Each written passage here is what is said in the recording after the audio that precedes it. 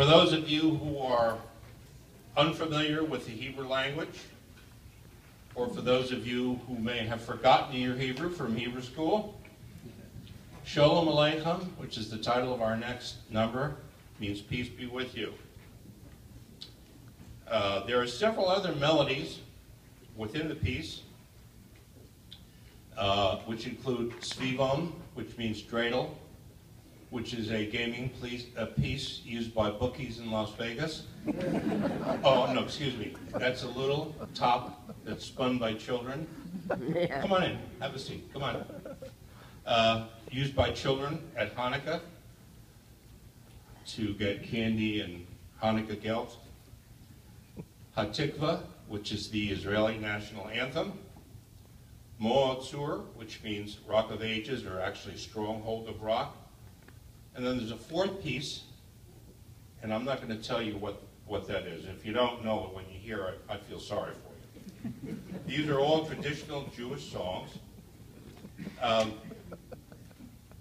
in our spring concert last year, we dedicated this number to David.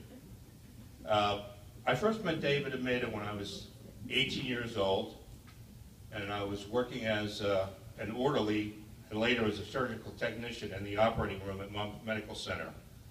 It was a summer job for me, and he was doing his residency in surgery at the time, and Maida was a surgical nurse. After I graduated from medical school, David wrote a letter of recommendation for me so I could get a, an internship and later a residency in OBGYN at Monmouth Medical Center.